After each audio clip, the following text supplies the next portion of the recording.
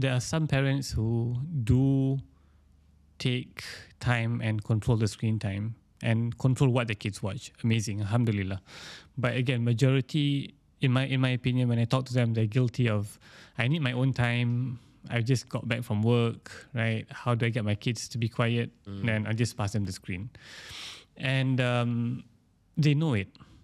It's sad that they know it and they know what their kids are watching. Just imagine this, right? And I like to give this analogy where, if your kid, would you put your kid in a physical in, in a physical place, right, where there is LGBT, for example, or there's in a pub, or where there's a casino, definitely you wouldn't, mm. right?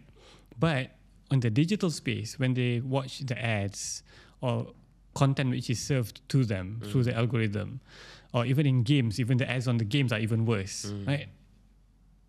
They're okay. Not not to say that they are okay, but they feel that it's less harmful. Mm. But it's not, right? Um, it, it, it's it's really sad to see that, but we can see that a lot of Muslim parents nowadays uh, from the Western world is trying to move outside of of of those countries because of um, LGBT being put into the education, mm-hmm. and they can spend um, it's, it's life, life changing going to another country. But when we say that, hey, get your kids on a safe platform, right?